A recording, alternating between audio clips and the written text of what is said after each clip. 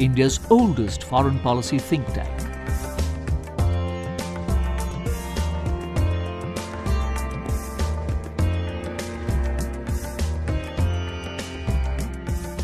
Many people interested in foreign policy have told me when they come to the Indian Council of World Affairs in Sapru House, they feel a great sense of affinity with this institution because this was where the serious study of international relations in India all began.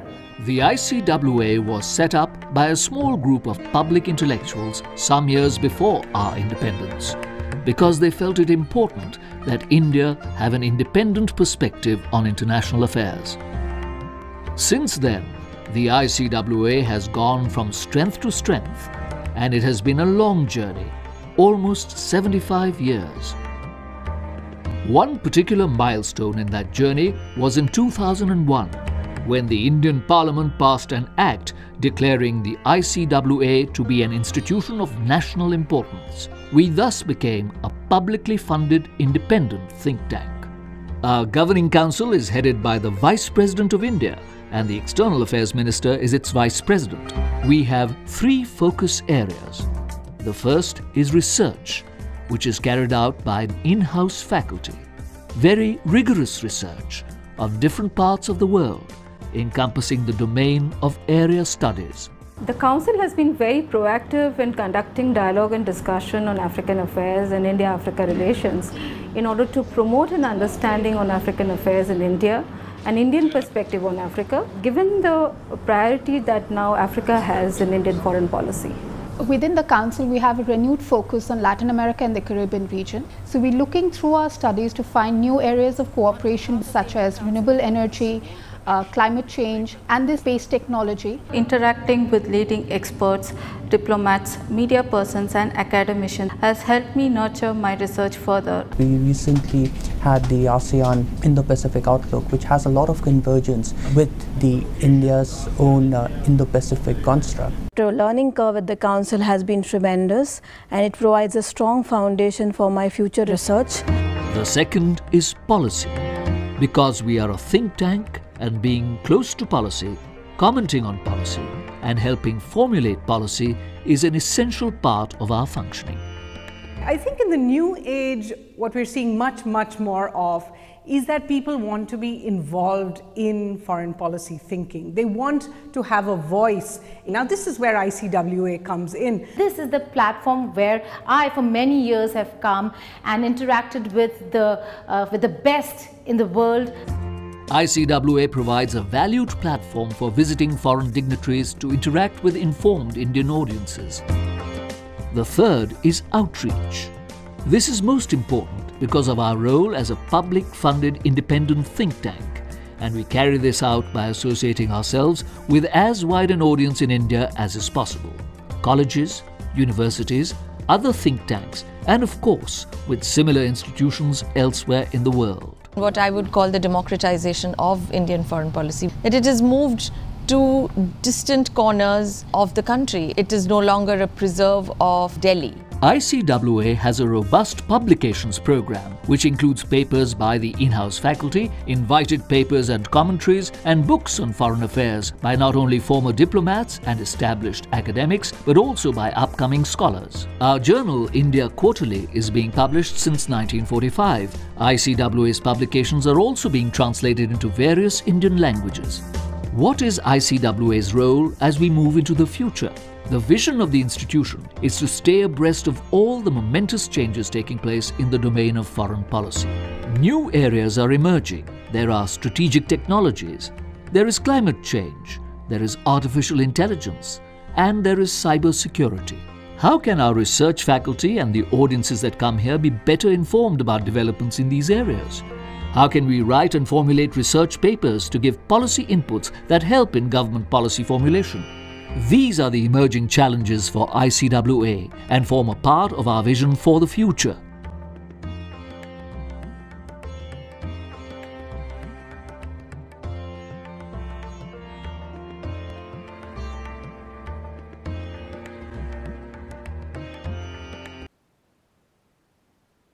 Good afternoon all.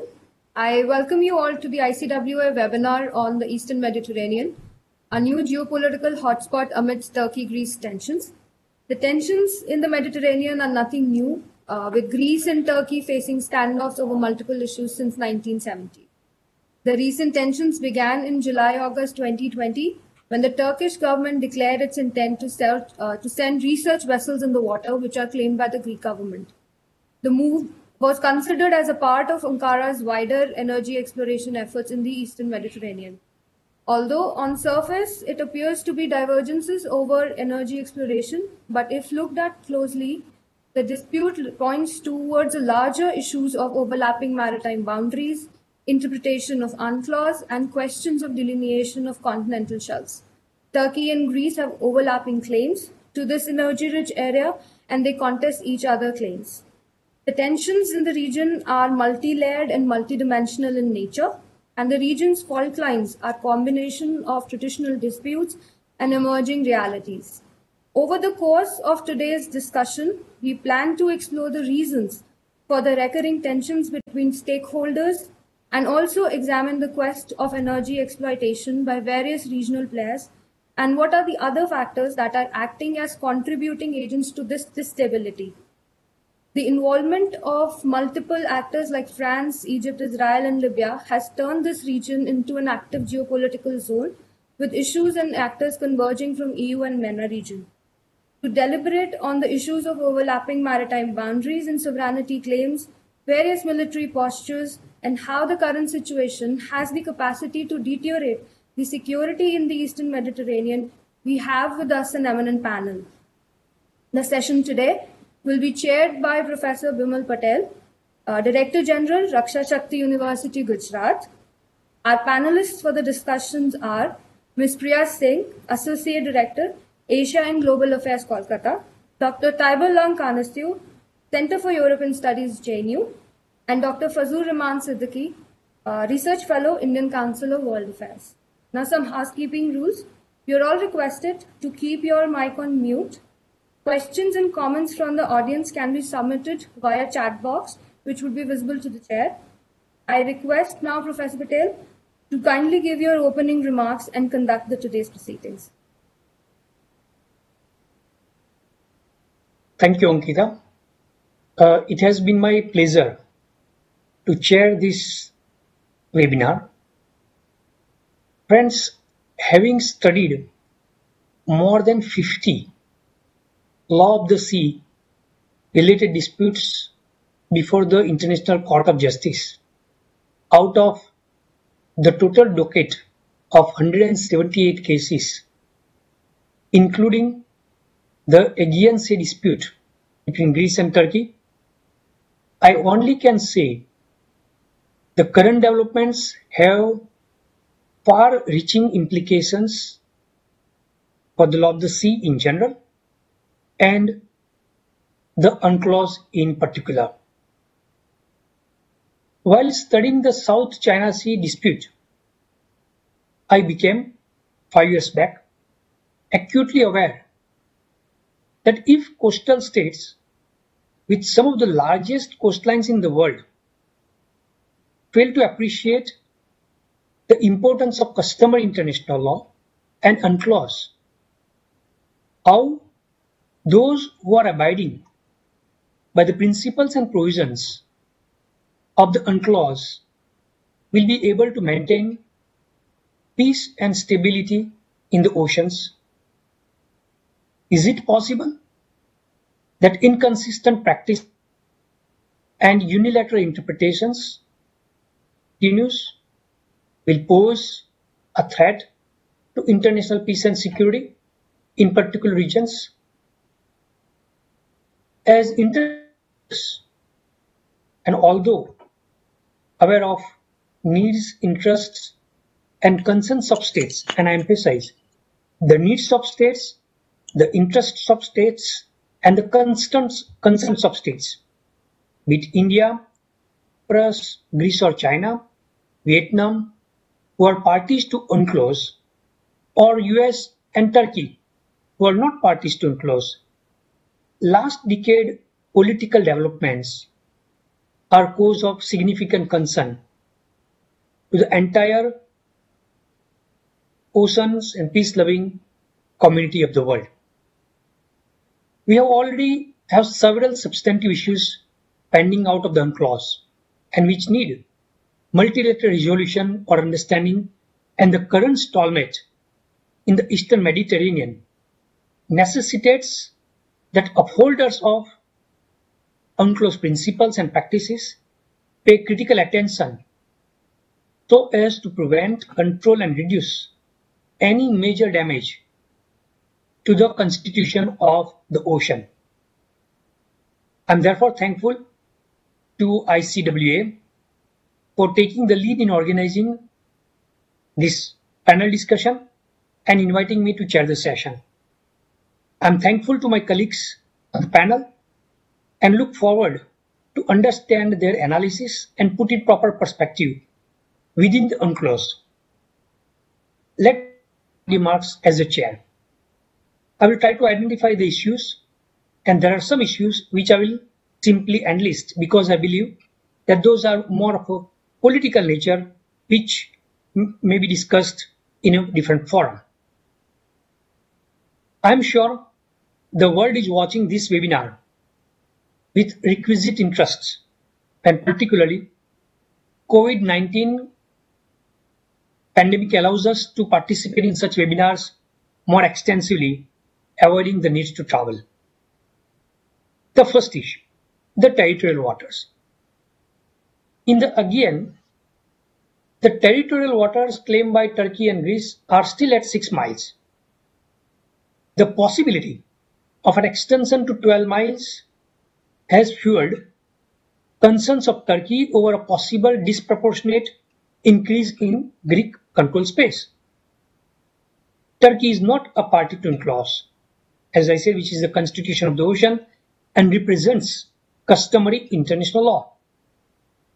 Even US, which is also not a party, does recognize that UNCLOS represents customary international law. US had dispute, indeed, with regard to the deep sea mining chapters of the UNCLOS. And as a, as a result, we had completely new additional protocol to UNCLOS. It is indeed true that UNCLOS as res inter alios acta, that is, a treaty can only be binding to the signing parties but not to others. Greece, in conformity with the entitlement given by UNCLOS, apparently wishes to use right to apply this rule and extend its water to 12 nautical miles at some point in the future. Although, what I understand, it has never actually attempted to do so. And it holds that the 12 mile rule is not only treaty law but customary international law, as per the wide consensus established among the international community. Against this, if you look at, then Turkey's argument is that the special geographical properties of the sea make a strict application of 12 mile rule. In this case, what it considers to be illicit in the interest of equity. But we can also recognize that Turkey itself has applied the customary 12 nautical mile limit to its coasts outside the Aegean. The second major area of dispute is the national airspace. The national airspace, airspace is normally defined as we know that airspace covering a state's land territory and its adjacent territorial waters. It gives the sovereign state a large degree of control over foreign air traffic, while civil aviation is normally allowed passage under international treaties, foreign military and other state craft do not have right to free passage through other states' national airspace. The delimitation of national airspace claimed by Greece is unique as it does not coincide with the boundary of the territorial waters. Greece claims 10 nautical miles of airspace as opposed to currently 6 nautical miles of territorial waters. Since 1974, Turkey has refused to acknowledge the validity of the outer 4 mile belt of airspace that extends beyond the territorial waters of Greece. And in support of that, Turkey cites the International Civil Aviation uh, Statutes of 1948 as containing a binding definition that both zones must coincide. coincide. This is second major area of concern. The third, there is a continental shelf.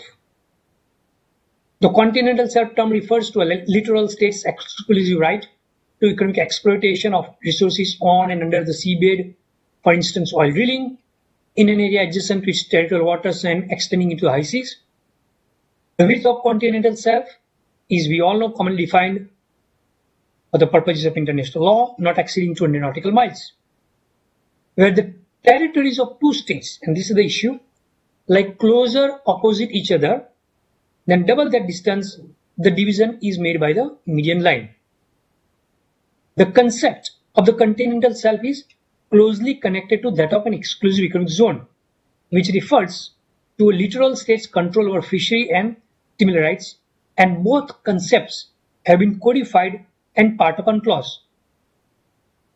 The dispute between Turkey and Greece is to what degree the Greek island of the Turkish coast should be taken into account for determining the Greek and Turkish economic zones. Let's see.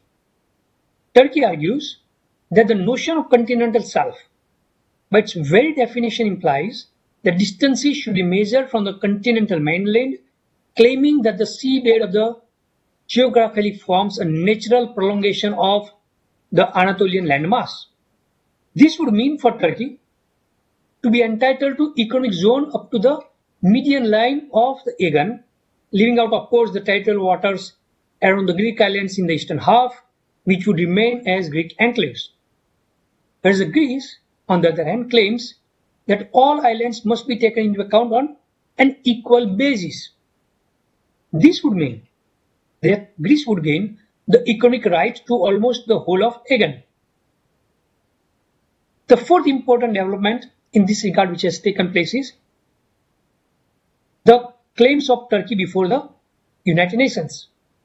Last year on November 2019, Turkey submitted to the UN a series of claims to EEZ in the Eastern Mediterranean and that are in conflict with the Greek claims to the same areas, including a sea zone extending the west of the southern East Aegean island of Rhodes and south of Crete.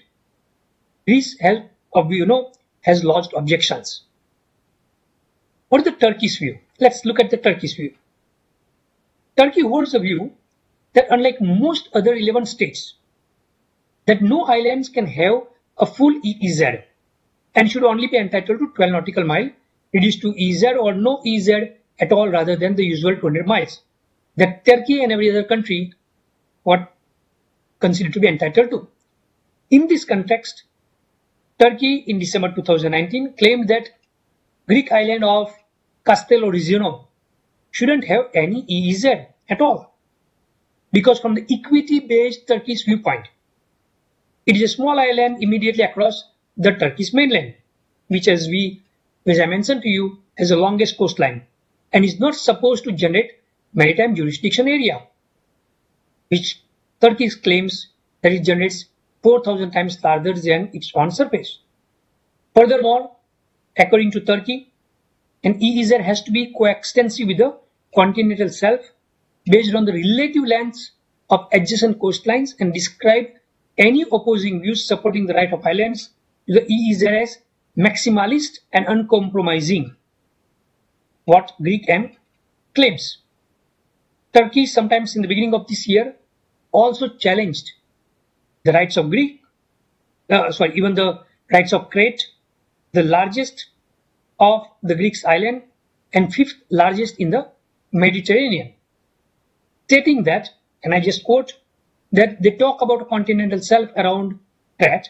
There is no continental shelf around the islands. There is no such thing. There it is only sovereign waters. Now, friends, if we accept the Turkish position for the sake of argument, and no country, no country who signed the UNCLOS would share this interpretation. It is simply absurd.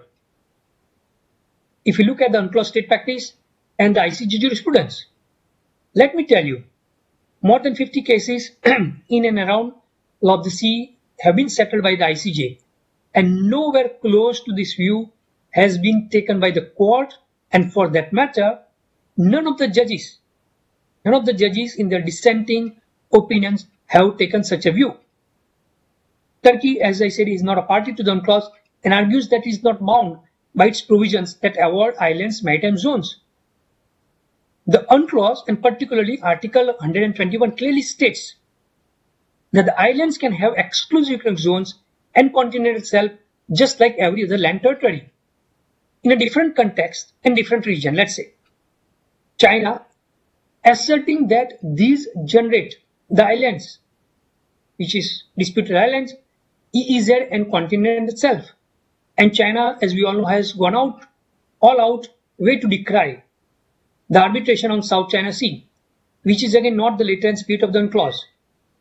We are not discussing here South China Sea, but what is similarity is that Turkey and China are undermining the UNCLOS for national interest and geopoliticizing the peace and stability of the waters. And as I said, the constitution of the ocean. Besides these points, what we all need to understand are some of these disputes which clearly have implications for the larger law of the sea, but also the peace and stability, as I said, in different regions.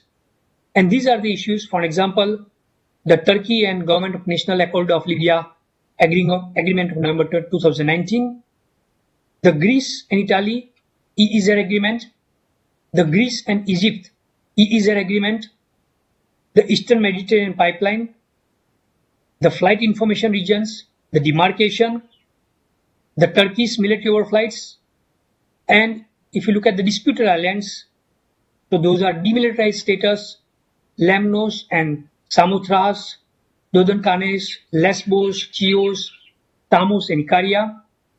There are issues with regard to grey zones, such as Imia or Kardak, between Chios and Turkish coast, Antipsara, Pulnoi, Arkoi, and the list goes on. And therefore, it is very important that one of the important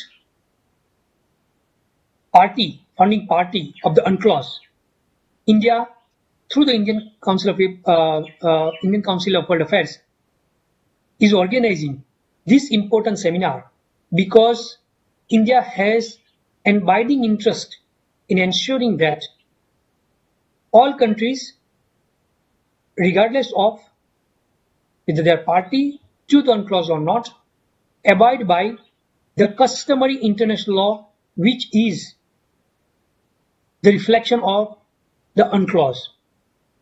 And therefore, as we as we implement the unilateral practices, it is all possible that we will, if we, if we do not remain vigilant, then we would have greatly undermined the peace and stability, which is the fulcrum of the UNCLOS.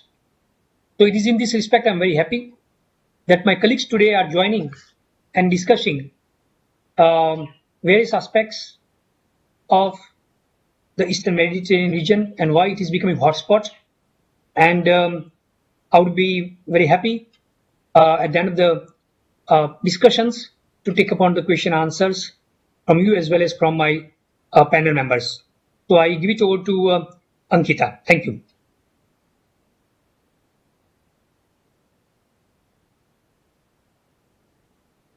Thank you, Professor Patel. Now, can I request you to kindly conduct the session, invite our panelists to give their presentation?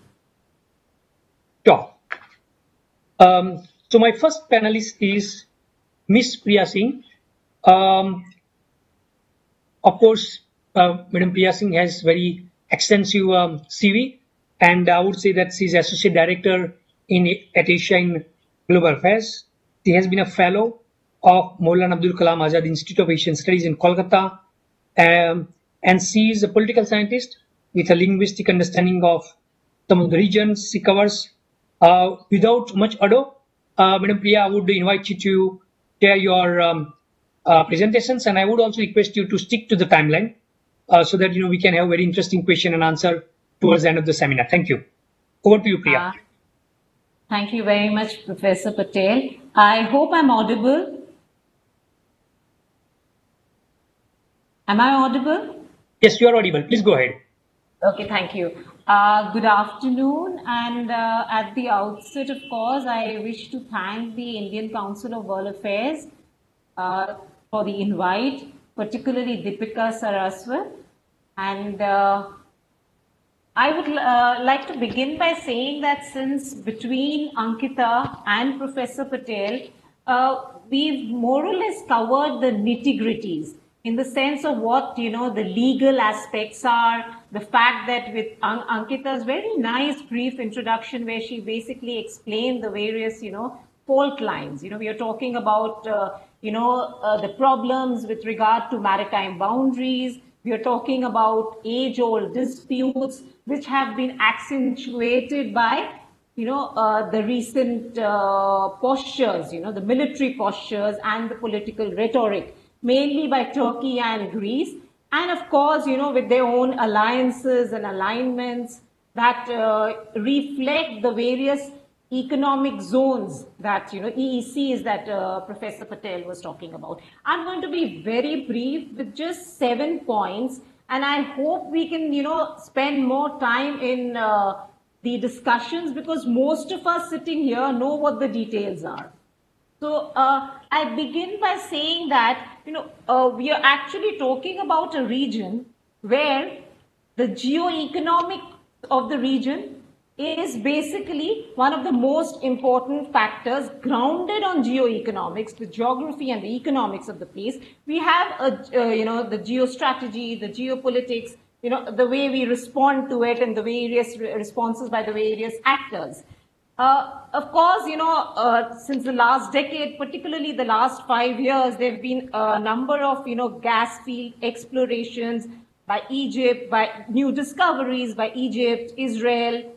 And of course, you know, as soon as that happens, you have, uh, you have new alignments, you have uh, powers, say from the Euro European Union, in this case, mainly Italy and France with their companies shelling in uh, to reap the profits uh, for the European markets. So the geo-economics of the place, which has changed drastically with the recent gas, you know, uh, with the discovery, with the exploration of uh, these, uh, uh, you know, gas resources, the hydrocarbon resources I'm talking about. So, say if you could, it is not a starting point, but 2015 with the Zohr oil field, gas fields in Egypt, again, is, is a major point there and of course, you know, the various competing actors there. So that is it. But this was, uh, you know, founded on something which has started much earlier. The Mediterranean, you have to look at the history of the space as well. We've, uh, you know, concentrated so much in the past on the other side of the Mediterranean. We're now talking about, you know, the maritime boundaries, the problem, uh, you know, the disputes regarding the maritime boundaries, which have basically along with you know the fact that this is now a resource rich area in a world in a post pandemic world where resources we, these resources are going to play a very important role the political rhetoric the you know the military postures are all situated on top of this you know because most of the countries that you look you know most of the countries involved aren't really countries which are uh, economically very strong. I mean, you, you have a global recession now. So nobody is really going, you know, great uh, right now. So they are faltering economies. They have lots of, you know, economic issues at hand. And uh, uh, basically, the kind of posturings that are taking place has to be understood in this context. You know, for them, the socio-economic options, alternatives, are probably the best response to deal with, uh, you know, the, the rhetoric. Now, when I'm talking about hydrocarbons and gas pipelines, the geoeconomics of the space, it also requires obviously a lot of cooperation undersea, territorial cooperation among nations.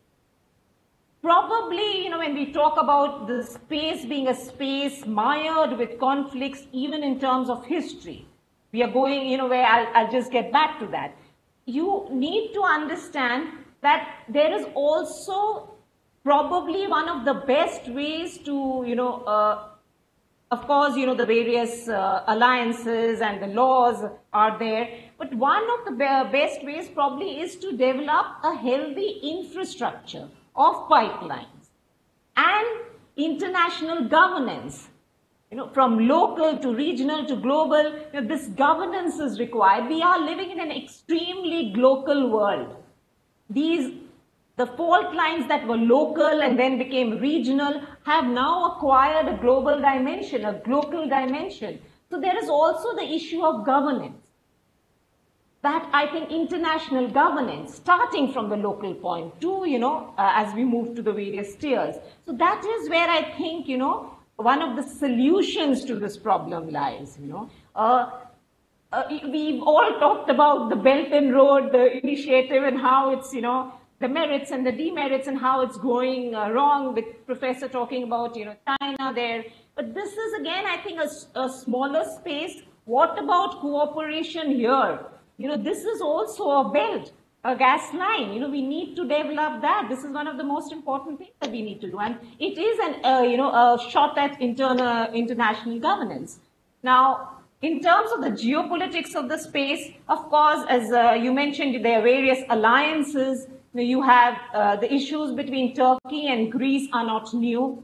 You know, you can actually, and Cyprus, you can talk about 1974 with, you know, when the Northern Cyprus comes into picture, you know, the uh, coup by uh, the Greeks and, you know, the, uh, the Turkish invasion and the creation of, you know, this Northern uh, Cyprus Republic, which is, uh, you know, basically, again, you know, the, you could, the factor of ethnicity comes here. So we are not just talking about international laws and, you know, just not international relations. There are various, various tiers to it, you know.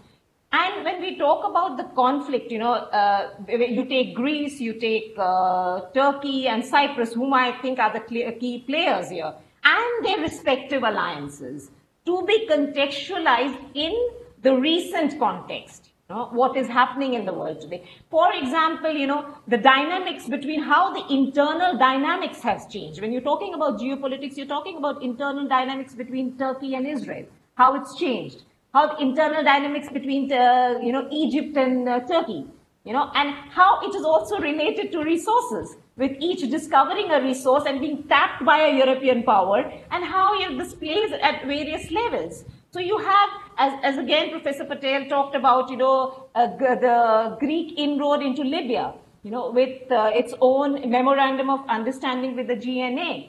Uh, this again, one could also think in terms of, you know, the Libyan civil war, uh, civil war, you know, it's in the aftermath of uh, not, an, an, unstable Syria, uh, Libya in the sense.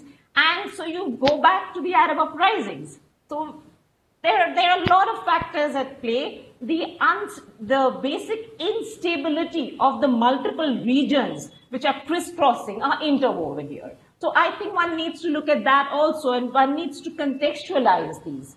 Uh, regarding the history bit of it, you know, one could actually go back there are two important, I talked about 1974. Now I'll talk about, you know, 1924, the Treaty of Lausanne. That is where, you know, the boundaries of Turkey were identified.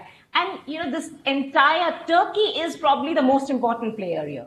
So you now have an assertive Turkey, which has its own maritime strategy, the blue homeland strategy.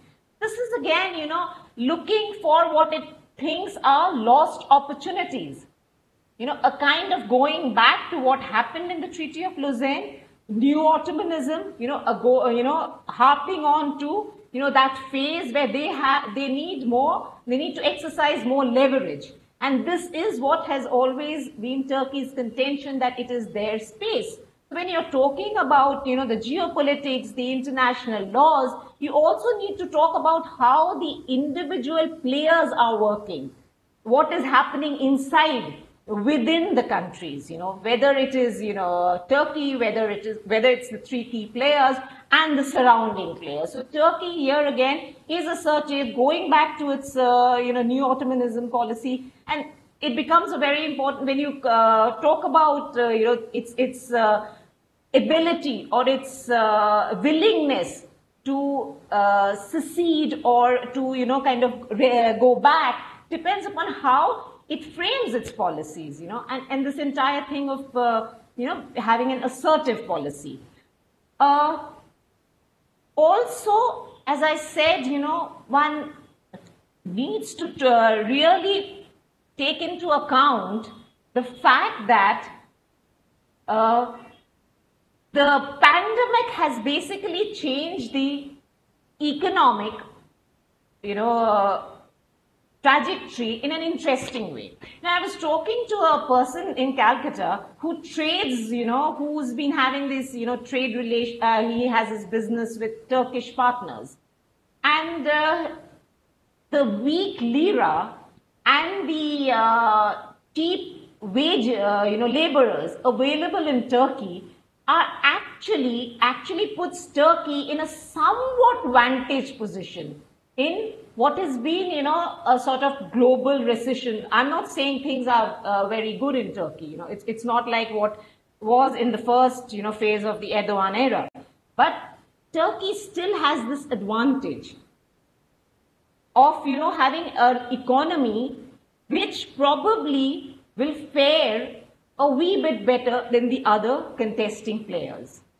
So, you know, when I when you talk about all I'm trying to say is when we are talking about, you know, the various rules, the various economic zones, we are talking about the, you know, the discretions, the, the laws that have been, you know, violated. We need to also keep these in mind that there is a particular context within which we are operating and how each of these players are playing, you know, are acting in that stage.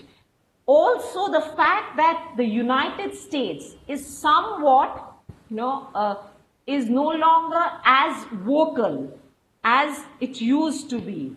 You look at the Trump administration, it, it, it isn't consistently pressurizing Turkey as it, you know, one would, uh, you know, expect it. So you have Germany playing a mediating role. And uh, France, of course, obviously where Libya goes, you know, and uh, you have French companies, France is immediately, you know, going away from Turkey. So, you know, these various knots that need to be unknotted in order to understand the space. And I feel it's the domestic factors which are also very, very important. And the trajectory that I would like to follow is from local to regional to global and say everything should be contextualized in a global world. Thank you very much, sir. Uh, thank you, uh, Ms. Priya Singh. Um, so now we would have uh, Dr. Teiborlang and um, Dr. Teiborlang, uh, is he there? Because I don't see his. I'm here. I'm here. I'm okay, here. now okay, yes, I can see. Thank you. Hello, hello. Uh, so he, uh, uh, Dr. Teiborlang is um, assistant professor at European Studies in the School of International Studies at Jawaharlal Nehru University. Uh, he's also coordinator of MA program in politics of the School of International Studies. And um, very interesting that his research interest includes EU's foreign security policy. And I think um, we would have great uh, information from you as we are looking at the EU economic zone, not only Greek economic zone, but EU economic zone and uh, borderland studies. So um, I'm very happy that you have accepted the invitation, uh, Dr. Teiborlang, and um, I will uh, hand it over to you. Uh, so it is your turn now. Uh, uh, thank you, Share. Thank you, uh, Professor Patel. And I would like also place my thanks to the ICWA for inviting me for this um, this panel discussion, as well as uh, the other uh, members of the discussion and the audience. Uh, well, um, like I said, like since I am from the School of International Studies and the Center of European Union, European Studies, I mean, so I would like to focus on exactly on what exactly is the European Union's role as an actor in this uh, present crisis. And like uh, Dr. Priya Singh has just mentioned, there are multiple actors engaging in this, and then we need to contextualize from the history, the region, so on and so forth. That way we can look at the European Union as one of the most important actor in this current scenario. And of course, within the European Union, we see now within this crisis, the European Union is there. Then we see also, like rightly said by Dr. Priya Singh, that Turkey is an important player. It's an important actor that leverage on all sides in the whole crisis that are ongoing crisis that start way back from the 2014-15 uh, refugee crisis, uh, the Arab Spring, the post-Arab Spring. Turkey has been at the center. Then, to complicate the, the, the scenario, then you have Greece and Cyprus as a member of the European Union, as a member of the European Union, which uh, in the beginning it looks like if you go back, like Dr. Priya Singh said, the history. If you look back at the history, it looks at one point of time like the issue of the Cyprus question will be settled with both uh, the blessing of Turkey and the other and Greece. But it did not happen that way. The moment Greece became a member of the European Union in 1881, then it put a leverage again against Turkey. By the time Cyprus became a member again in 2004 uh, as a member of the European Union, now what we see is that just a few days ago, just a few days ago, on behalf of Greece, you see that, right, that Cyprus, Cyprus, in fact, vetoed the European Union foreign, uh, what is known as a foreign policy uh, agenda or the, the idea of putting a sanction against Belarus or taking any action against uh, Belarus or a directive or an action or any kind of statement against Belarus unless until the European Union put a similar action against Turkey. So in that context, we, we, see that why is that the EU cannot do anything here. The EU cannot do anything simple is that the EU is an international organization, rightly said. It did have this what they call the common foreign and security policy in place. But this common security policy, it's based on a consensus. So any veto from one member state would put a stalemate on all the other agenda that the or the plan of action the European Union would try to do, we would try to take. But nevertheless, nevertheless, I, I would put here to say that nevertheless, but the European Union did have a Mediterranean policy. There exists a Mediterranean policy of the European Union. It's not that it's not there, that it comes only at this particular moment, but this Mediterranean policy, it goes a long way back from the 1970s, which uh, start with the Euro uh, Euro Arab dialogue of 74, then came which under the rubric of what they call the global Mediterranean policy of the European Union. And then, of course, by the 1995, you have the uh, Euro-Mediterranean Partnership. And subsequently, you have what they call the European uh, Neighborhood Policy of 2004, and then you have what you call uh, the Union for Mediterranean. So in all these, we see that there is uh, there is an attempt from the part of the European Union to shape a Mediterranean policy. Uh, partly because the European Union wants to play in the 1970s, it really need that policy as a result of what we talk here now, the resources uh, of the disruption to the European, the then European uh, community economy, when it was just blooming, but there the Arab-Israeli war itself sought to sought to disrupt that uh, energy supply. So we have that, that the European Union came out with the global Mediterranean policy and the Euro-Arab dialogue immediately. And following that, following that, the European Union keeps on, but by the time it comes to the 90, the European Union also started uh, looking at its own security and focusing on its own security as the end of the Cold War. And then at the same time, also it with the with the, what, what the development of what we call now the European Union and the signing of the Maastricht Treaty, it started to want itself to play a major actor role as a global actor. So this is uh, the main thing that it started to focus on the Mediterranean. But focusing on the Mediterranean is also part of its security agenda. One is the post 9/11, and the other one is uh, the, the, the Arab Spring. And in both these cases, it called for what you call the European, called the Mediterranean security, which uh, laid down more emph emphatically in the European Union uh, security strategy of 2003. And the most latest one is uh, they call the European Union Global Strategy of uh, 2016, which says, like if I quote, it says that the European Union says that as European, we must take greater responsibility for our security. And it, uh, and it, it identified that foreign and security policy as an important component of that. And it identified the area of the Mediterranean, that is the southern Mediterranean of the North Africa, and the eastern Mediterranean as an important area of focus. And in all these policy, I will not go in detail, but in all this policy, the European Union start first with the idea in the earlier time with the idea of democracy promotion, human rights promotion, so on and so forth. But by the 90 and all, as the 90 comes out, the early 2000 come out, instability in the Mediterranean, the migration, the flow of migration towards Europe. Then European Union also, all member states started focusing on rather govern rather than human rights, democracy promotion. Now it started looking at development activities, development activities in a way that it started doing business with the regime of uh, Gaddafi or in uh, Libya or in Tunisia, so on and so forth, without taking much into consideration of this uh, democracy promotion that it uh, is strived for.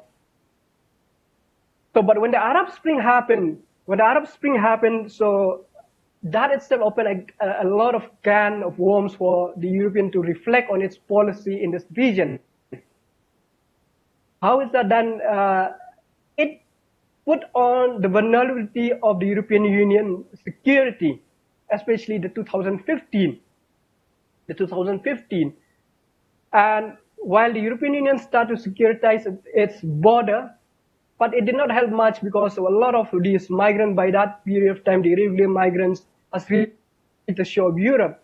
So it started to take the security agenda as part and parcel of its strategy, which one of that is another player, importantly, is Turkey. And the deal with Turkey is to provide a 3 billion to deal with the migrants to settle in the border part of, uh, to process the migrants and refugees. So that itself, that Turkey itself holds the card now of the tap to open and close of the refugee flow. And in, in this crisis now, Turkey is itself as one of the important bargaining chip of the migrant, plus the other 3 billion that bargains on the ease of access of visa access for Turkish to Europe. So you have that.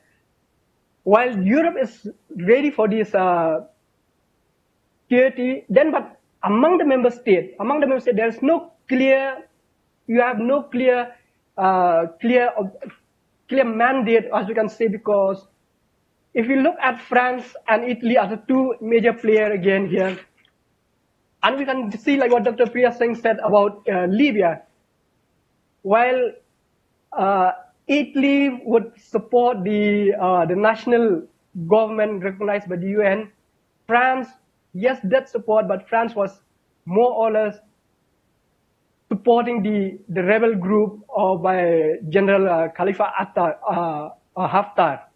So there is a mismatch between, and both are looking, of course, to the resources of Libya resources as well. So you have that, that you have this, and by, by, by looking at this crisis, by looking at crisis, we could see that now that the Cyprus, Greece, Turkey crisis that the European, from the part of the European Union, not much has been visible that way, except for the same similar statement that the European Union has given a long way back when Cyprus joined the European Union that it would recognize as the whole of Cyprus as a member of the European Union. And even during that time when Cyprus applied for membership or the Annan plan, the, the United Nations uh, then United Nations plan for the settlement of the dispute, that the European Union made it clear that even if there is no such uh, resolution to the reunification of Cyprus, still the southern part will always be will be a member of European Union. So so far, coming back to the maritime dispute, so far the European Union, as all members of European Union, are abide by the law of the United Nations Law of the Sea Convention. They are part of that, but as European Union, it, it, it hands is tied. Honestly, that his hand is tied because uh, Turkey as one of the important player, then you have Greece and Cyprus as another player there, which it cannot much do. So what we learn from here, to to to give in a, in in a nutshell, I, I would say that to look back at here as European Union um, foreign policy in this current crisis, that over the last 10 or 20 years, the European Union has been mainly focusing about its own security, its own security. And its policy has been taken, the European Union has taken the military policy as a whole, but rather as uh, we would see that the Mediterranean consists not of a one whole Mediterranean itself, but a different sub-region within the Mediterranean, the eastern, the southern, the Balkan side. So there are so. So a common security approach is the biggest challenge to the European Union to address this crisis. And, and moreover, like I said, the, the term European security is always looked from the European point of view, but not from the point of the other players. And there are, as I, what I would reiterate again, there is inconsistencies between various EU policy framework, like I mentioned, the Euro-Mediterranean, the uh, Europe for Mediterranean, the Eastern, uh, uh, the European neighborhood policies. So on, there are so many policies of the European Union, but all of them there are one or the other overlapping or inconsistent with the other. And and one of the criticism that says that the European Union could not do much because at the end of the day, that foreign policy objective are still the sovereign at the heart of the sovereign state. That no matter what the European Union has a good intention, but the European Union still lack, it cannot do an intervention because still lack the military and defense capability. And its foreign and security policy depended very much on member states. So in this crisis, it has no, it has a role to play as a mediator, as maybe perhaps pressure Turkey, but even the pressure on Turkey, it cannot go for any more longer because even the Turkish um, application as a candidate to the European Union is almost as good as dead. It's almost as good as dead because, and if you see by 2018, uh, the European Union members, some of the European member, members like uh, Germany and all, make it very clear that they were concerned of the Turkey application is not moving further to be part of the European Union, but rather than is moving backward as a result of Turkish record on human rights and other issues. So to put that carrot on Turkey on the application of uh, its application towards membership to European Union, it, it doesn't have much of a strength now, as we see, as I can see now. But rather, it's a Turkey with it's hosting millions of refugees inside this territory that has more of leverage in terms of these uh, the issue that is uh, at hand. As you rightly pointed out, uh, Professor Bimal uh, Patel, Professor Patel, like you said that Turkey is not a member of UNCLOS, so it's hiding within that, within that, that we are not a member of UNCLOS, UNCLOS, so we cannot take that. Rather, put have leverage on the other side. So these are the fact that the European Union policy on the Mediterranean as it is right now. So I think I should end there, and I will look forward for questions which maybe we could address more issue from the part of the European Union. Thank you so much. Uh, thank you, Dr. Teiborlang. Um, good because you know you brought a very interesting perspective of um, various facets of the needs and concerns of the European Union and within European Union the differing positions of let's say Italy and France vis-a-vis -vis the particular regimes in Libya and in Greece. I think it is going to be very exciting debate when we start the question and answer because uh, I'm now looking forward to what uh, Dr. Siddiqui has to add. uh, because now we have heard an excellent uh, expose from uh, Dr. Singh and Teiborlang, and now I'm turning to Dr. Siddiqui, uh, who is associated with ICWA. Uh, Dr. Siddiqui obtained his PhD from uh, Jawaharlal Nehru University, and um, his research area is political Islam, Arab identity politics, and foreign and strategic policies of Arab countries. And his book, Political Islam and the Arab Uprising, Islamic Politics in Changing Times, was there in 19, uh, 2017. So I look forward to listening to his remarks and how the particular work which he has done in 2017 also has some implications for the dispute or for the uh, tensions which we are currently witnessing in the Eastern Mediterranean. So I hand over to you, Dr. Siddiqui. It is now you. Thank you.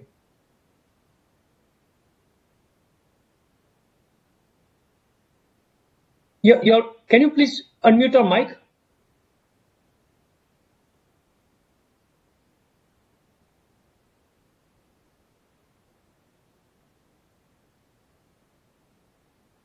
Thank you, sir.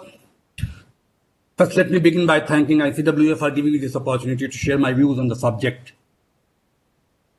The Eastern Mediterranean, a new geopolitical hotspot.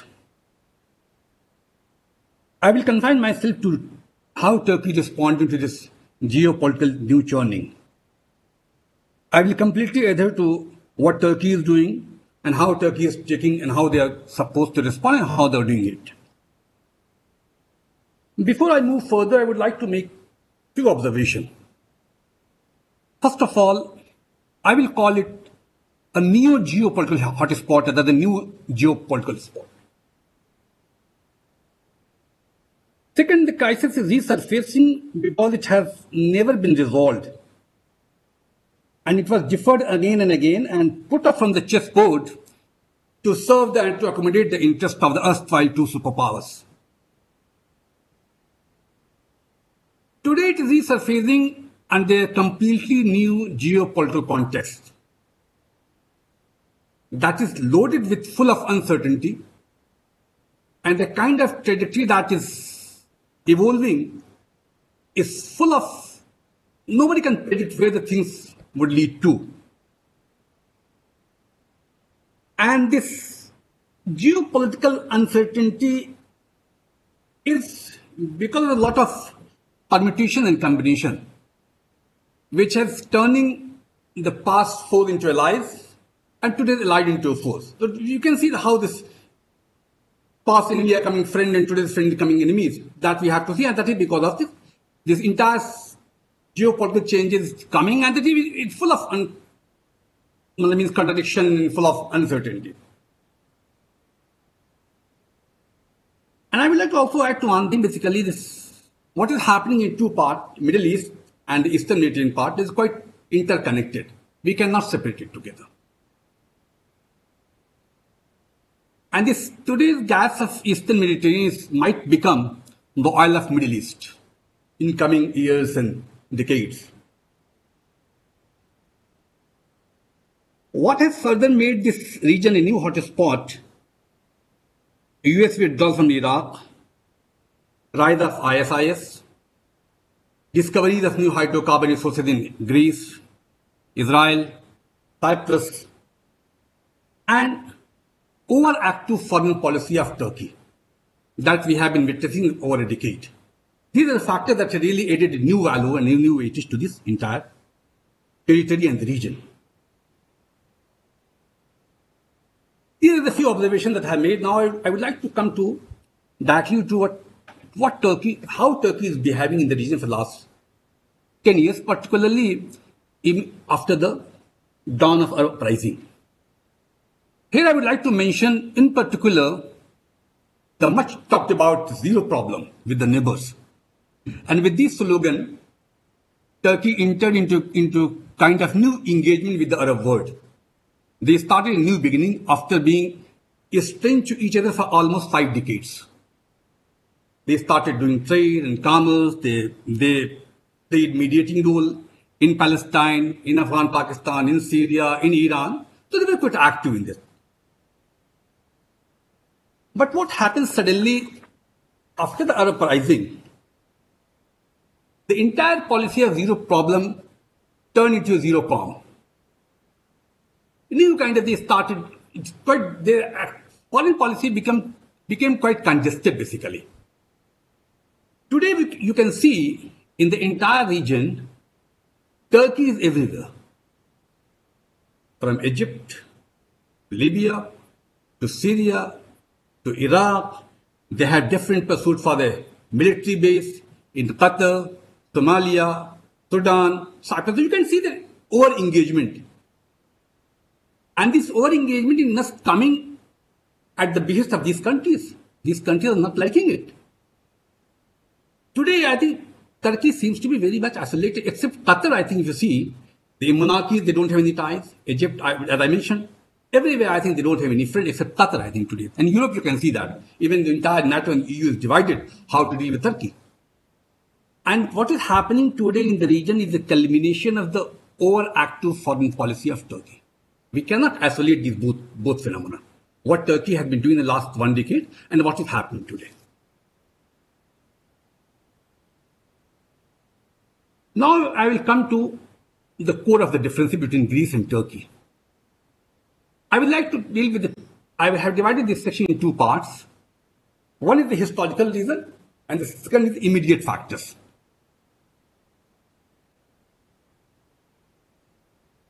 Emergence of power vacuum or imbalance of power in the Mediterranean and the discovery of huge oil and gas for the last one decade have made the one of the most important and attractive destinations for the international and regional players.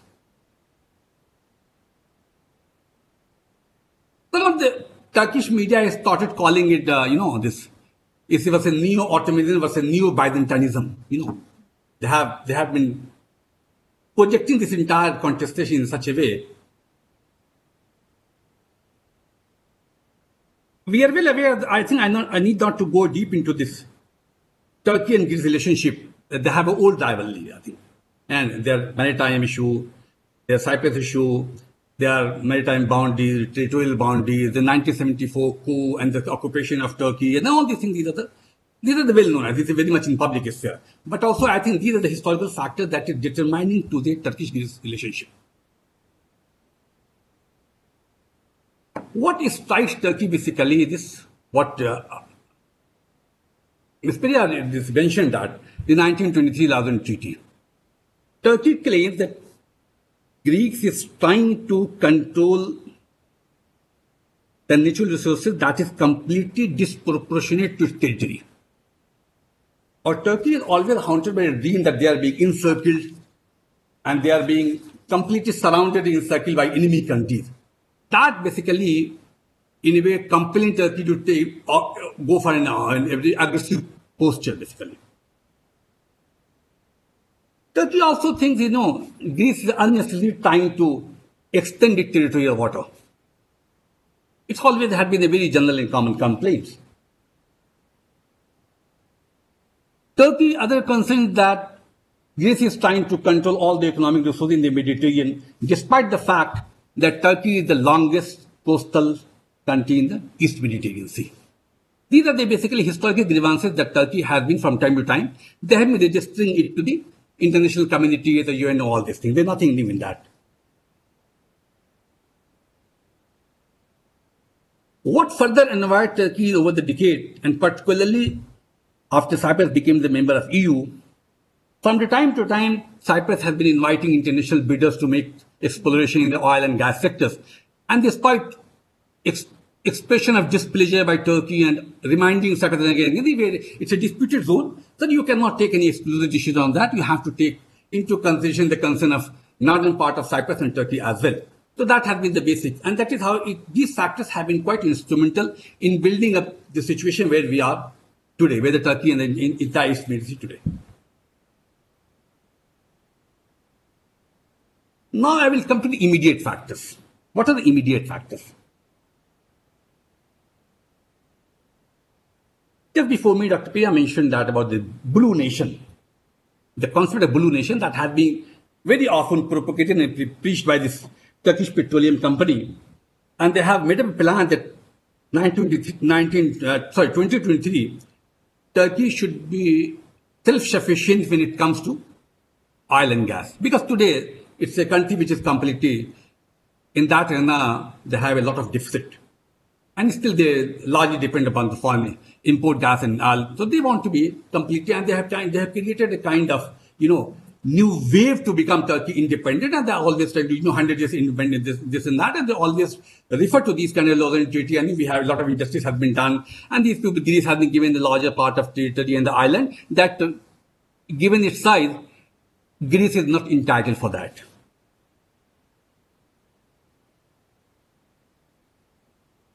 What has further annoyed and angered Turkey you know, for the last over a decade, the Cyprus began laying the foundation for offshore gas exploration despite objection from Turkey. In 2003, Cyprus signed a demarcating agreement with Egypt. And it was happening particularly when there was a lot of discussion that Kofi Annan planned to really to resolve this Cyprus crisis. And then it means Turkey thought, you know, they are really not serious. When we are conceding and we're making all effort to resolve the crisis, Cyprus is taking its independent view without taking into consideration our economic concern, our geopolitical concern, and all these things. What really turned the situation, what I call the worst situation basically, then came the creation of the Eastern Mediterranean Gas Forum. It came in January 2019. What is interesting part of this creation in this, this forum was most of the countries that were part of the forum, they do not have good relationship with Turkey. For example, Egypt, Palestine, Israel, Cyprus, Jordan, Italy. Majority of the country today do not have good ties with Israel, with sorry, with Egypt. So Egypt has all, sorry, Turkey has always taken this grouping as an anti-Turkey club. They never accepted this fact. These are the immediate factors that have that have been that have played a very important factor in creating a kind of distance between these. On the one hand, these club, on the other hand, Turkey. And Turkey always have the fear that these countries, these club, are nothing but an attempt to isolate Turkey in the Eastern Mediterranean. And despite the fact that they claim they have the real honor because they, they share the longest border with coastal border with Mediterranean.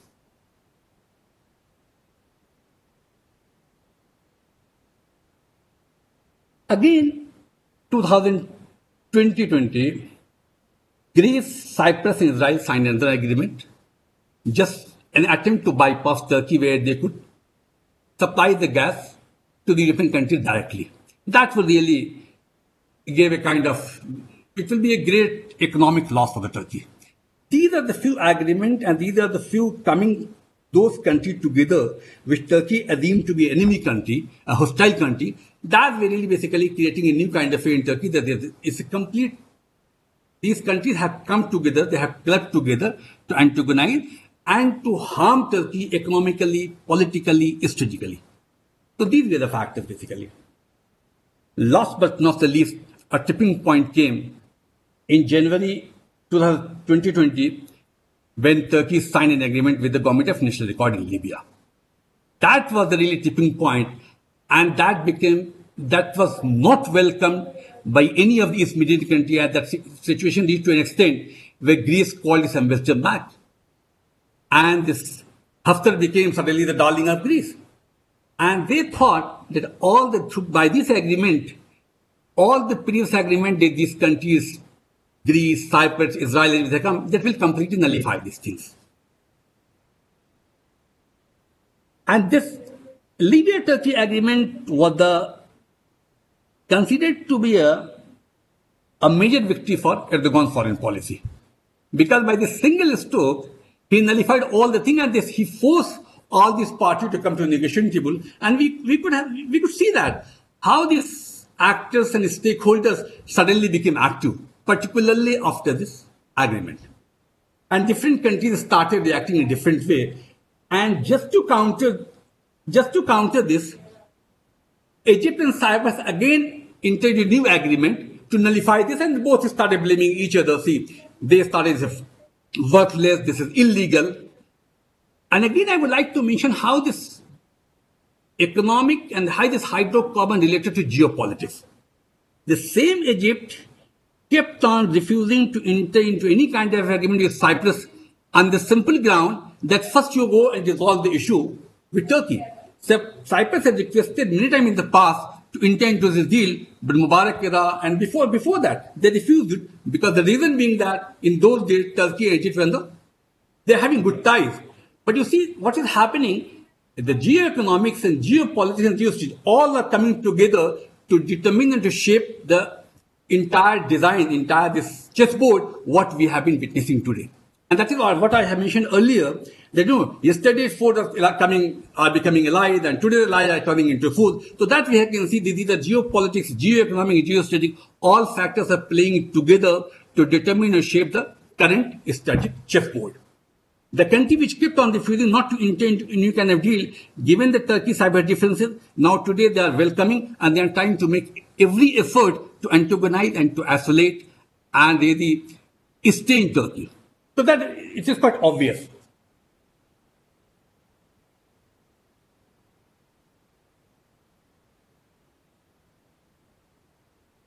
What is what are other factors also? Do you know, over the years, Turkey has given the Turkey growing activism in the region. They have drawn many other players, and all are, all players are trying to enter any alliance that is anti-Turkey. UAE is there, Egypt is there, Saudi Arabia is, is there, and they are extending, France is there, they are extending every support to those groups which are against, either against Turkey or against the interests of Turkey.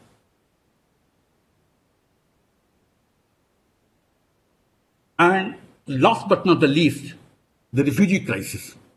That has further created a kind of deep differences, particularly between Turkey and, and Greece. And we have seen how this, you know, this extremism and the, the, kind of media coverage, the Islamophobia, we have, we should not welcome it, we should not embrace it because they really disturb the entire fabric. And then we have seen for the last five years, particularly 2015 and 16, a lot of it was, was created. Now I would like to come to the, where are, in this entire game, entire this strategic journey, where is the policy of President Erdogan? Erdogan is very expert in occupying the interior with the problem abroad. That is what he has been doing. He has pursued a kind of policy. He always trying to occupy the interior place with the agenda abroad. That is what he has been doing, basically. I think you cannot isolate the current situation from the what is happening today. Most of the thing what he is telling, you know, it's a it is political rhetoric and this, this. I think it's also for the domestic consumption.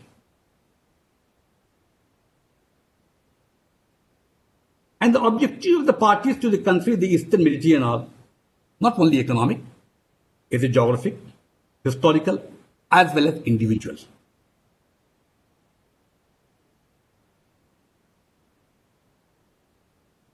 It is an effort on the part of Turkey to link energy politics in the Eastern Mediterranean to the wider geopolitical country in the Middle East. Now, is the kind of slogan he's giving, the kind of issue he's raising, it also serving him and helping him to mobilize his voters inside, basically. And election is around, and particularly after the Istanbul debacle that he faced, he's making every effort 2023 election for the presidential election and the parliament election, that is, is quite aiming something else also. Not only about economy, not only about hydrocarbon, not only about oil and gas. I think he's looking beyond that. What I would like to also point out here, you know, he's also witnessing a kind of disenchantment with the Saudi-led bloc in recent years. And particularly in the light of, you know, ongoing normalization of ties with Israel, UAE, Bahrain, Oman, and all this. He's trying to become a, he's trying to exploit this situation and to, and to place himself as another leader of the Sunni world. And in this regard, I would like to also point out to the new emerging alliance where he was, he was trying to create an alliance between Iran, Indonesia, Malaysia, Pakistan, and all these happening in the cost of Saudi Arabia. So these are the larger design under the pretext of the Eastern Mediterranean crisis to place himself as the real great leader of the Muslim world. It is also related to the internal politics, hard politics, hard politics, the economy, this, this going down is popularity, Kurdish crisis, down the Lira crisis, and all these things, these factors are also just to divert attention. He has been exploiting these things, trying to make it an issue where he could mobilize this his voters in the Eastern European part, also, you know, just to not to allow the internal political opposition to raise the issue which is common to all. Uh, Dr. Siddiqui, if I if I can just tell you, we have yes, two minutes. Just one minute, one minute.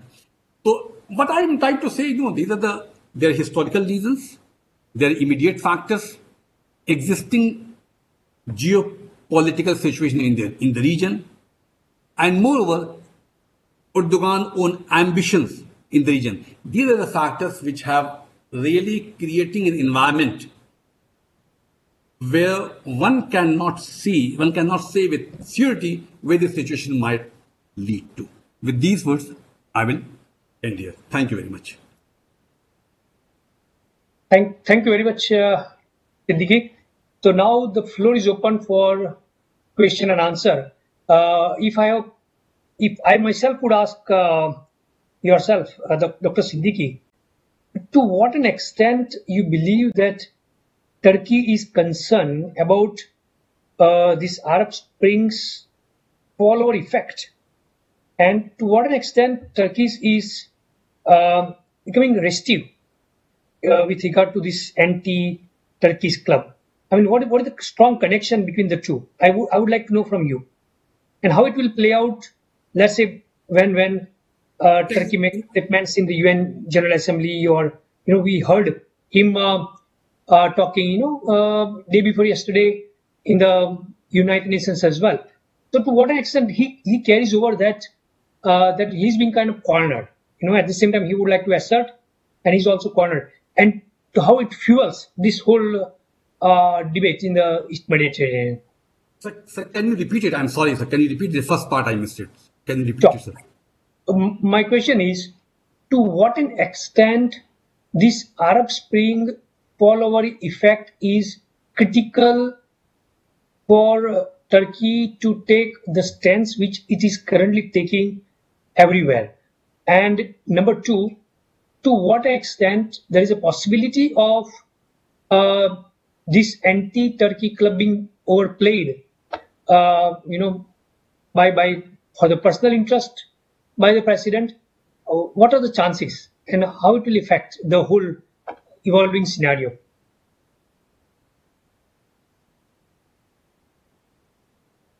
Can, can you please put on your mic? First, I will deal with the uprising part. And you know, immediately after the uprising, most of the commentators were of the view that Turkey will be the real beneficiary. Because it came with Islam, and if you remember correctly, if we remember, he was the first one to land up in Tunisia and Egypt. And he tried to tell people, you know, we are the best option you can adopt. Because Turkey was known in the early phase of Erdogan presidency, Turkey was known for these three things. Democracy, human rights, and economic performance. And he tried to present it as a model to these countries which were passing through this political transformation.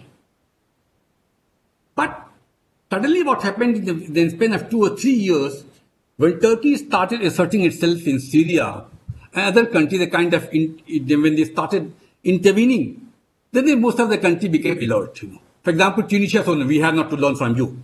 Egypt started saying we, we do not, to learn from you. To Turkey, earlier ambition was completely frustrated by the rise of new forces or neutral forces. And what we see in the last 2013 and 14 most of the revolution were basically ended in failure. So Turkey failed to present itself as a model. Then Erdogan tried to force his idea basically. You know, Turkey is the biggest country and this and that. We have experienced democracy, we have the Islamist democracy and this and that. So then they, they went everywhere. But internal situation went out of control because evolution lost its flavor basically. It became, I, it was absorbed by different other forces.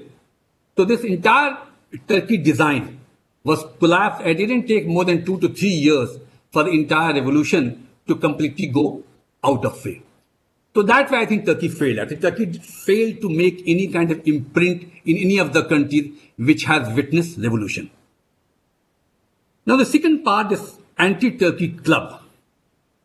You know, Turkey is also trying to pose itself as a victim of the European, you know, Union. They have repeatedly made a complaint that despite all our efforts, we have not been able to get any access to you. And they have branded as a, Christian club and all these things. Eh?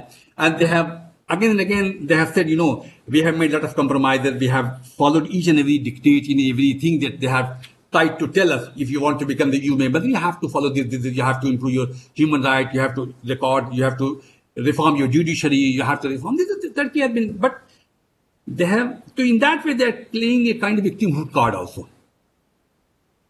Not only against the Europeans, they're also playing this card against Islamic countries, basically. For example, these Arab countries particularly.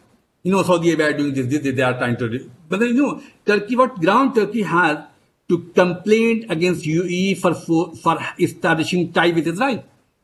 While the fact is that Turkey was the first country to establish tie with Israel. So on what ground you can do that? So now they have come up with a third wave, basically. On the one hand, they're trying to pose Europe as an enemy, country, enemy club. On the other hand, they're trying to Gulf countries. Now they come up with a new third wave where they are, Turkey is very ambitious in creating a new club for this under its own leadership, where Iran would be there, Pakistan would be there, Malaysia would be there, Indonesia is there. One doesn't know where, how it will evolve, how it will unfold, to what it will succeed.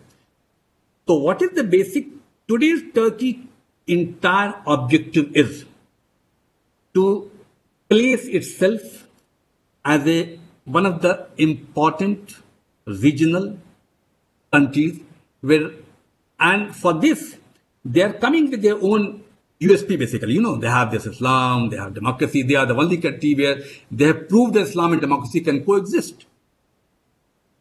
So these are the factors I think that, and these ambitions have kept Turkey engaged, not only in the Arab world, but in Europe also, with Pakistan also, in Afghanistan also, in Iran also. That, that is how I, I believe. Uh, th th thank you, Dr. Siddiqui. Do we have questions from uh, audience or participation participants? Yeah, uh, actually, we can see it if we look at the, we scroll the chat. You know, there are individual questions okay, yes. for us. Um, I can see a couple of them for me, actually. Okay, so can we can we roll down to those questions? Uh, Priya, would you like to go for the first one? I can. Yes, yes, because I have two questions addressed to me. Uh, yes, please. I'll, I'll, answer them and then, you know, I think uh, they sure, are explicitly sure. addressed to me. Sure, one thank by Professor Shamrutha Bhattacharya and uh, where she uh, actually is asking me about could you enlighten us on the migration issue across the Mediterranean during the time of the, or during the time of COVID? What has been the response of the concerned EU states? Professor Bhattacharya, thank you for the question. Uh, as far as you know, the migration, the flow of migration is concerned, there's been a trickling stream. You know, not as much as you know, say it was uh, around 2015, and of course, you know, they've been uh, you know this entire paranoia of accepting uh, boat people, if I could use the term, which has been actually usurped by the Rohingyas. It's uh, basically the uh, you know the the harbors, being Italy calling its harbors unsafe, and there have been deaths report, uh, death uh, reports of deaths, and uh, Greece, you know, the Turkey as well as the you know. UN Human Rights Commission accusing Greece of high-handed policy. So this has continued, and the blame game, the usual blame game, EU, or what actually, you know, who actually is to be blamed. So you know, it has been again a tragedy in the smaller scale because there have been streams of people coming from Tunisia, particularly, and they, they have been high-ended policies. In fact, my second question, which is basically a question addressed to me by Deepika Saraswat, where she talks about, I'll just scroll and uh, and I link it to this question. You know, uh, she's actually asking me about what what is Turkey's leverage against the Eastern Mediterranean Gas Forum from which it is excluded and the emergent Greece, Cyprus, Israel naval axis. Now, since she's used the word leverage, you know, one of the leverages in the larger regional scenario that Turkey has is its, you know, ability or, you know, its uh, willingness to accept refugees. So that has been, you know, whatever has been, you know, the policies, you know, high handed or whatever. Turkey is the valve. So that always, you know, puts it in a vantage position as far as the other European nations are concerned.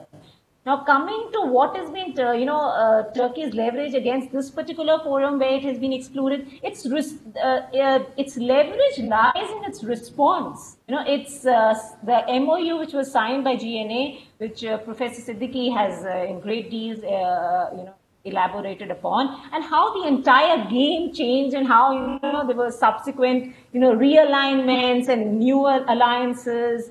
and also, the second important thing is Turkey's own, uh, you know, the recent the gas explorations under the Black Sea.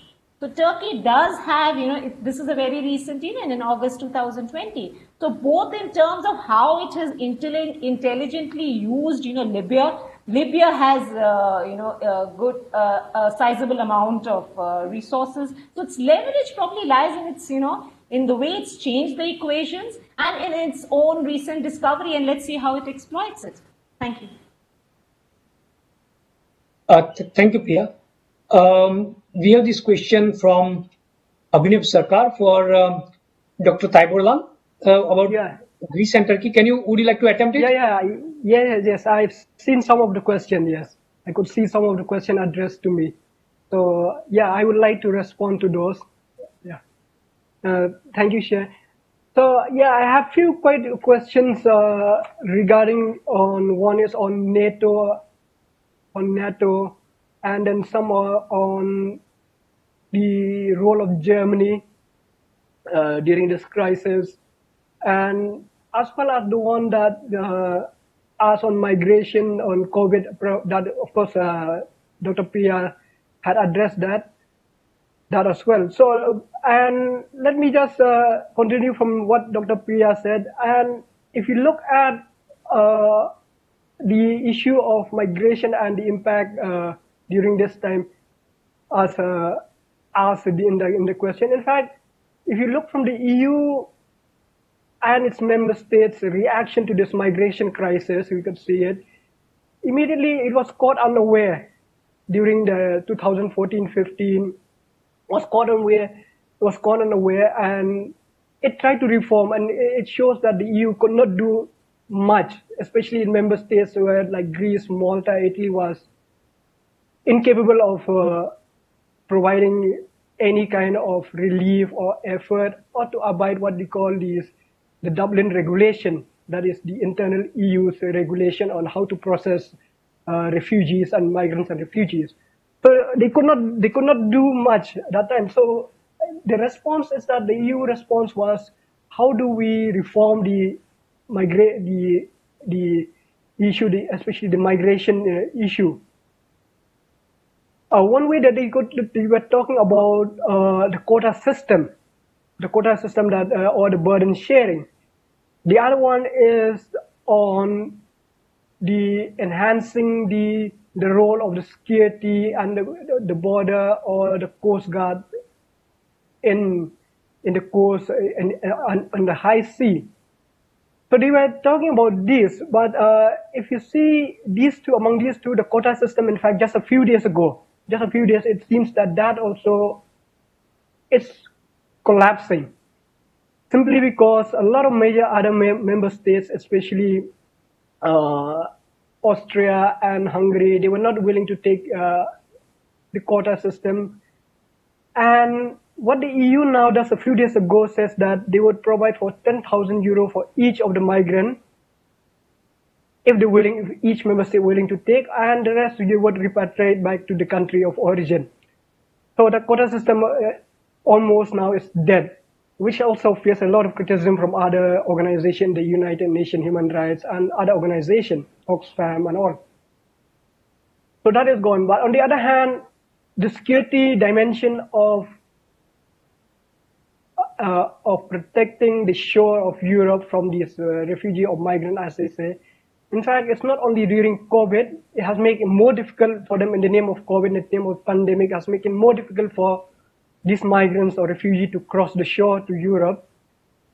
But not only this COVID, but in fact, this restriction or what you call the border control has been for the last two decades that Europe has put it from surveillance, from uh, either a bilateral agreement with Morocco, with Libya during Gaddafi and post Gaddafi, even till date, and then the use of um, artificial intelligence, so on and so forth. But border restrictions have become more and more. That's what we call that Europe in fact it's a fortress. It, it's free inside, but it's a fortress for outside to to come in. So that that that itself is not what we say that only in COVID, but in fact before COVID there has been multiple restrictions of for migrants or refugees to enter Europe. It's not easy as it looks at it look at and, and the 2014-15 uh, migration crisis in fact has further that restriction has further has made the EU and its member states clamp down more and more. And one of that quota, the collapse of the quota system or the lot of the right wing and conservative parties uh, government in, in Europe within the European member state has also showed that the unwillingness or the attempt by the member state to restrict the enter and the entry the, the enter of migrants into Europe. So that is there. One thing is that. So one and now if I go to the next question on NATO, and then yes, Greece and Turkey are both NATO members. That's true. And majority of EU member states are members of NATO. That is true. But we have to also look in the context that for the last few years, in fact, NATO also has faced a lot of problems, especially we see during that time when we see during the presidency of Trump president, this presidency, Trump presidency, we see that how the US has often blamed NATO on, on Europe members of NATO as the lack of contribution towards NATO. That's one thing of it. And this has become also a part of a, of a constant friction within the NATO member state of European and the transatlantic relation. And in, in this, we could see also that uh, the EU now start to attempt to develop its own defense cooperation that will take a long, long time, but they still have to depend on, on, on, on, on NATO. And when we see Turkey, though Turkey is part of this, among all these friction, and Turkey is part of uh, NATO, but you see that Turkey also has been engaging with Russia in terms of buying the, the S-400 defense uh, system, while at the same time negotiating with the F-35 from the United States. So there is a mismatch. In fact, there's a conflict between within that member states. And and on the, on, on, on the other hand, we see this more this crisis, especially when we look at the night uh, uh, during the month of June, when the UN put an embargo on on Libya, on the shipment of arms on Libya on the sea, and there was a conflict between France and Turkey on the sea regarding the restriction of the Turkish uh, vessel. So we see all these dimensions that at the heart of it, within that friction, especially the June, the June 20th, I think it's the June 20th uh, incident, that within the European Union there has been an inquiry of the, the Italian, the Greek, uh, the Italian, the French, and the Turkish vessel, and the, uh, and the, and the uh, Turkish vessel in the sea of um, restricting or putting, trying to put the the UN uh, arms embargo, which the United, which the EU also tried to put it, but then it, among the European Union member states, there are so much disconnection among them that uh, they could not put much. The EU could not uh, help much in any, could, could, not offer much help in terms of resolving that, that tension. So what I see is that, yes, Greece and NATO are, are part and parcel of member state of NATO, but this friction has started more and more often now, has started to appear more and more often. But it will not lead toward, though I'll come back to this, to the other question that on the German, uh, German's role in this Turkey-Greece. which the Germans said that, though the German foreign minister said that this tension is it, it, it, likely that it's fear that it will lead into a war, especially when France, Greece, Italy are engaging in military exercises on the one side and Turkey is on the other side. And what Germany itself is holding the presidency of the European Union, which Germany's role right now is to offer a dialogue offer a dialogue as a presidency is sought to present some sort of incentives. We don't know because this is just a few days ago, still ongoing. Though there is a uh, there is a news of a bit of a breakthrough right now. There's a bit of breakthrough regarding the the talk, that ongoing talk. There's a breakthrough, but we don't know how that will progress. But on the part of Germany's role here is that Germany would try to de-escalate the situation, not only between Greece and Turkey bilateral, but as well as the whole of NATO within the, the structure, the, the, the NATO structure, and provide a kind of incentives to Turkey. And we don't know what kind of incentives. Right now, we don't know incentives. Uh, so we have to wait for that and to see how things develop in the next few days. So that probably we'll, we'll look to that. Yeah. Okay. Uh, there are a couple of questions which are addressed to me. So uh, with regard to the extended continental shelf question has been posed.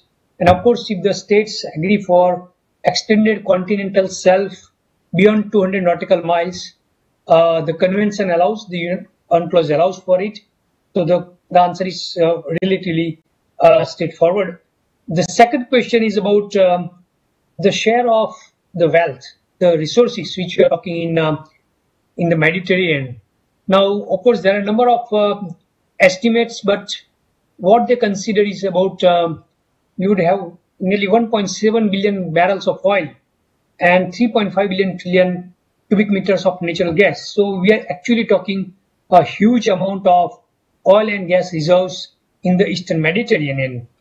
Uh, look at which are the main players. So you, of course, you have Turkish Petroleum Corporation, then we have ExxonMobil, uh, France's Total, Italy's Eni from for a long time already. Uh, but also there are some of the Asian giants, among the South Korean Kogas, uh, the Qatar Petroleum, the British Gas, and um, the Israel's uh, Drilling and Avner Oil. So these are the main uh, operators, one can say, in the region. And um, only there is one region where the claim between Turkey and Cyprus are not coalescing is uh, there are a number of parcels. If you see, you know, parcel is goes on it to 13.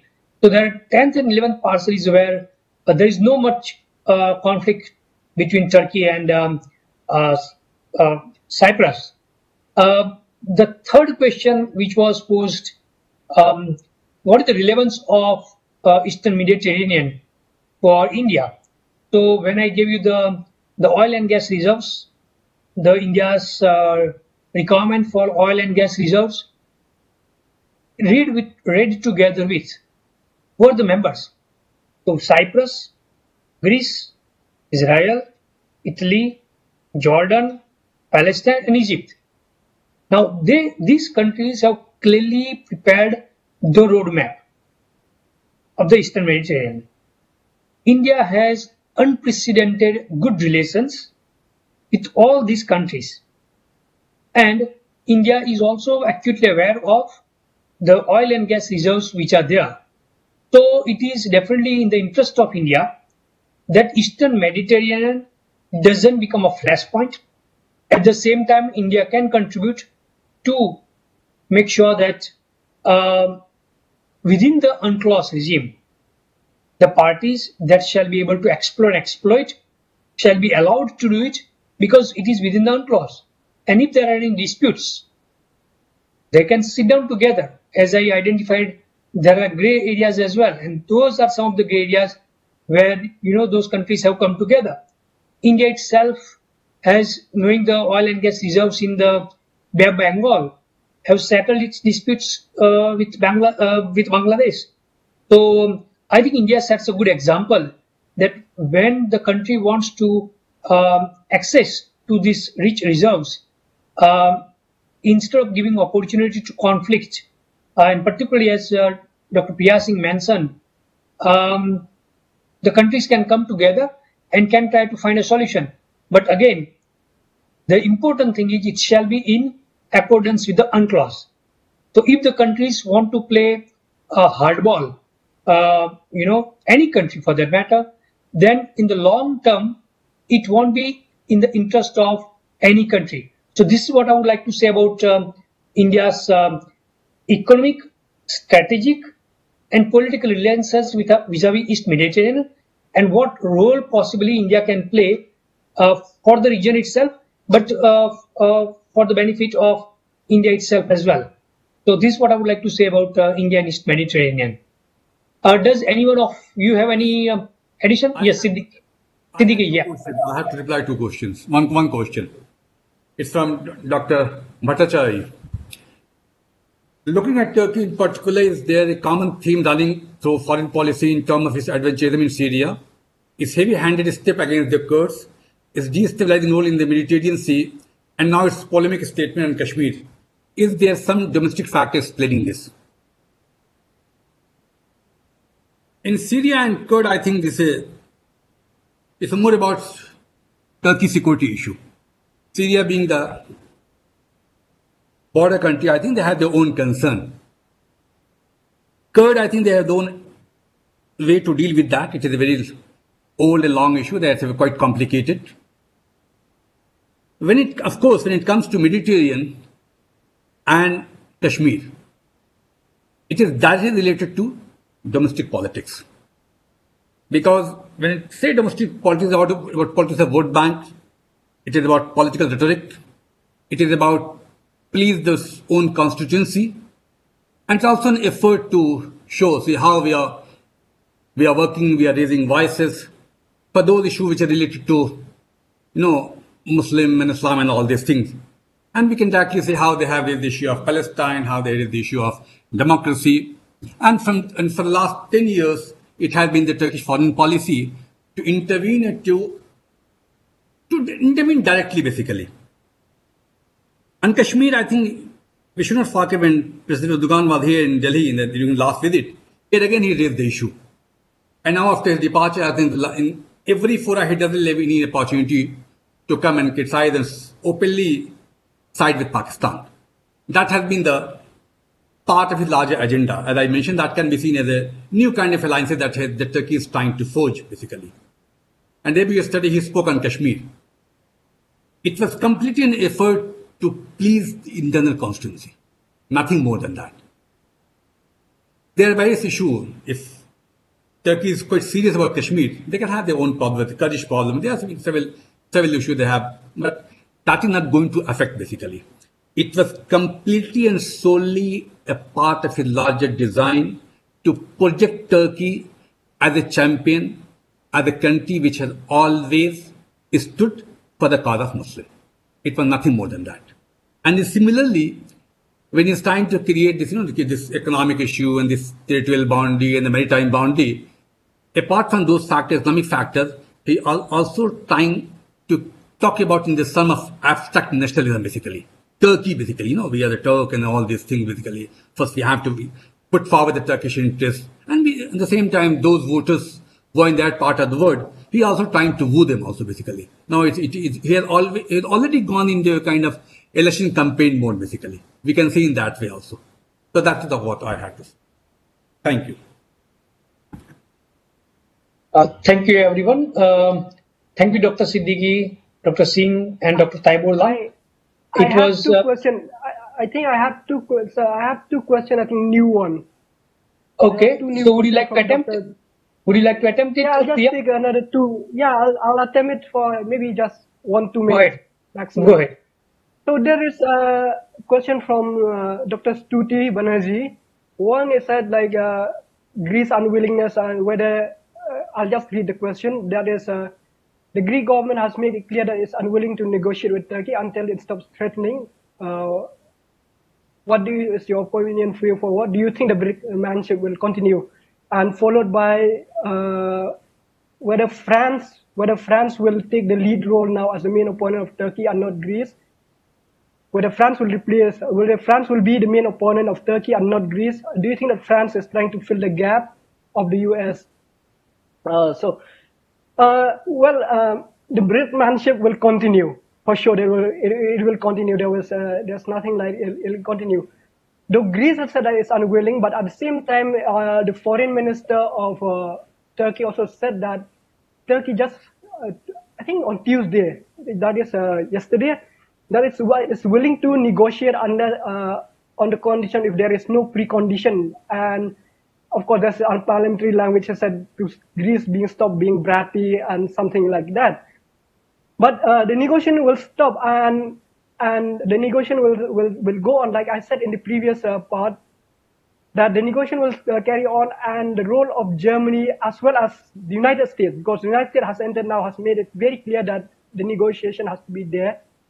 And there seems to be, like I said a while ago, that there is to be a breakthrough and the brinkmanship is like uh, Dr. Siddiqui said, is part and parcel, you know, part of Turkey is part and parcel of the domestic bargaining.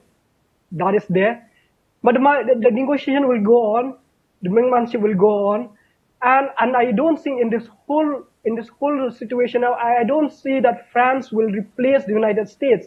But yes, France will play an important role.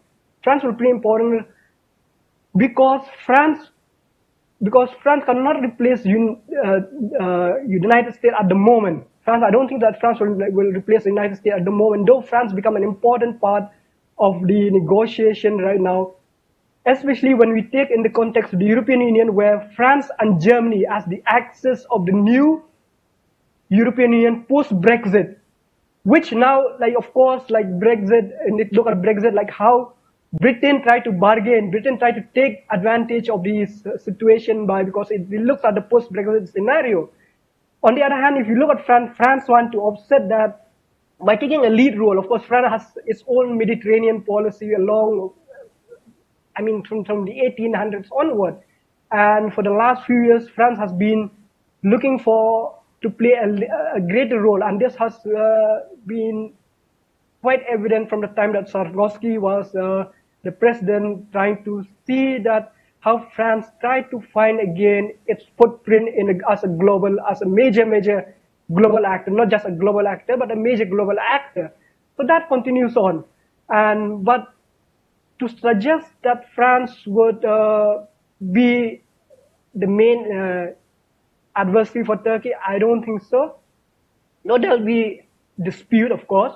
There'll be disagreement. But on the part of the European Union, despite the fact that there is, like I said, a disagreement among member states on how to reach the crisis, but we, we should also remember that the European Union foreign policy works on a constant negotiation and bargaining within the member states. They keep on so. They might come with something that the member state themselves might come with a resolution that is agreeable to France, that is agreeable to Italy, that is agreeable to Germany, that is agreeable to all the major players and then make a statement, make a statement and try to come as present as a united face in resolving the crisis.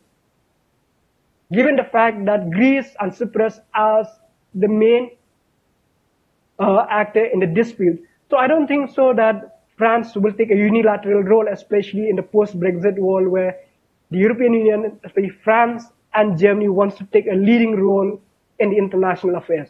And this regional one, like the president of um, that, uh, I think just uh, a few days ago, the, the the president of European Council, if I'm mistaken, I forgot, but he said that we cannot be, uh, uh, yeah, when Joseph Borrell, the EU foreign high representative, he said that that European Union cannot claim to be the geopolitical power or a geopolitical commission unless and until they, if they cannot, I mean, like, if they cannot solve the, the, the problem in the neighborhood, so that makes very clear that if the high representative or equivalent to the foreign minister of the European Union make that statement, that is very clear that all the members, all the stakeholders to the crisis will sit together and try to reach a deal without upsetting the United States or Turkey or Greece. Thank you. Uh, thank you very much, uh. So I hand it over to Ankita now. Ankita, you would like to say a few words? So I think what we can take away from these discussions is that issues are still evolving and they will involve larger questions relating to geopolitics, regional balance of power, quest for economic development, as well as energy security. I think these are the main takeaways from uh, today's discussions. So I, I also take this uh, opportunity to thank you, Professor Patel, for chairing today's session and to all our panelists for such an insightful discussion. Uh, I would also like to thank uh, Dr. TCA Raghavan, DGICWA, for his encouragement in basically holding this webinar. Sri Shomen Bagchi, DDG ICWA, Ms. Nutan Kapoor Mahavar, JSICWA, and Dr. Nivedita Ray, Director Research ICWA for all their support. I would also like to acknowledge the support of the technical team for coordinating this webinar and all our guests for their participations and questions.